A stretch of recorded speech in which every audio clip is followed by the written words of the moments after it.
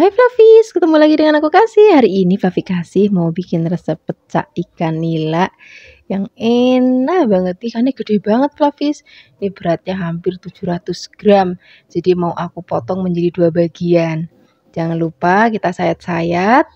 Kemudian kalau sudah disayat-sayat, ini mau kita marinasi dulu.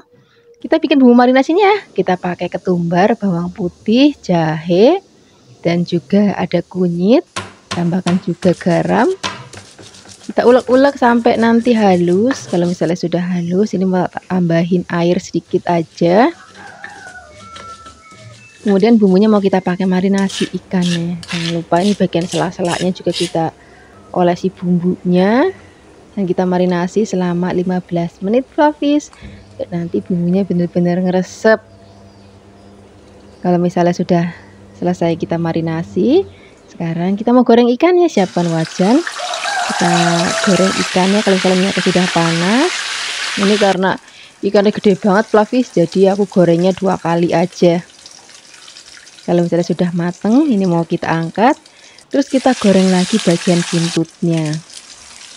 Kalau misalnya sudah mateng ini juga mau kita angkat. Terus kita mau bikin untuk sambal pecaknya. Untuk bikin sambal pecaknya gampang simple pertama-tama. Di sini kita akan goreng terlebih dahulu bawang merah. Kita goreng sampai nanti bawang merahnya matang kalau sudah matang kita angkat. Kemudian ini mau kita ulek dulu. Kalau misalnya sudah halus ini mau kita tambahkan lagi ada cur dan juga kita pakai cabai merah.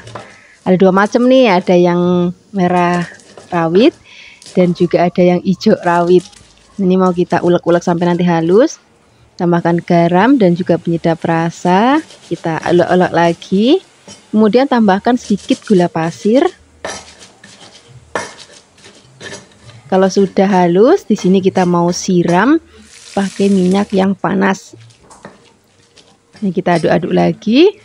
Nah ini sudah enak Papi. Sekarang kita tambahkan lagi air yang benar-benar mendidih. Air panas yang mendidih ya. Tambahkan juga jeruk nipis boleh atau jeruk limau juga boleh. Kita aduk-aduk lagi. Kemudian kalau sudah kita akan ambil ikannya.